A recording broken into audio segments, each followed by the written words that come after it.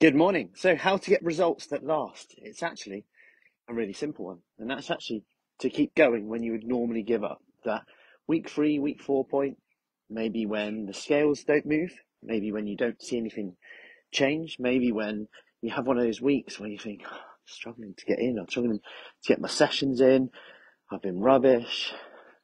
They're, they're the weeks where actually, if you keep going, you'll start to see results because often when we quit, there's a lag time. There's that self sabotage. There's that, oh, what's the point? Might as well start again in September. Might as well start again next month, next week.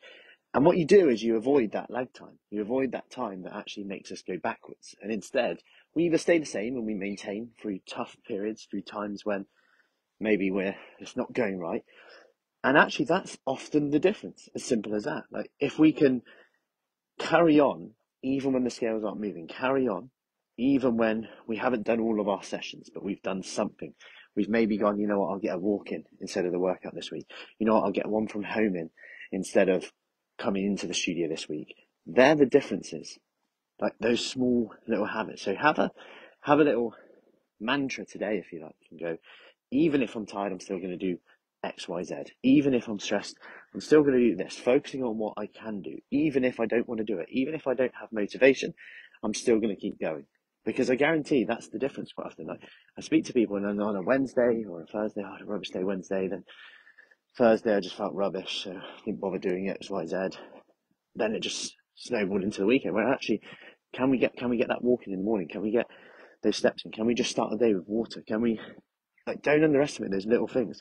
Can we get some protein in? Can we focus on what we can do, even if we're tired, even if we're stressed, even if we're not motivated, and get excited for those moments when you're like, oh, it's not working. Oh, a bit stressed out. Oh, should I just jack it in?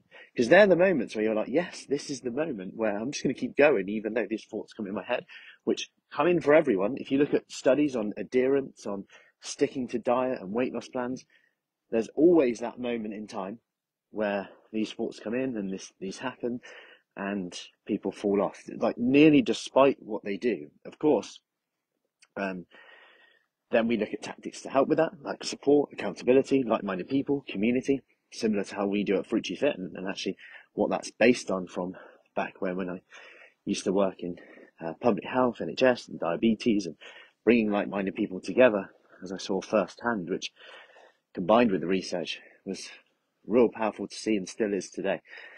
So maybe you need that surrounding yourself with like-minded people to motivate you to, to make friends, make that community to keep you going as well. We know how important that is as well. But in the short term, keep that attention. Why even want to do it anyway? Does it make you feel good? Yeah, my mental health so much better. I feel so good. Great. Like just do what makes you feel good today and keep doing that.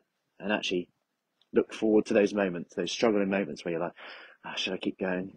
Because that's the difference between getting results and not. And you'll get results a lot faster that way. So have an awesome day. Any questions, let me know.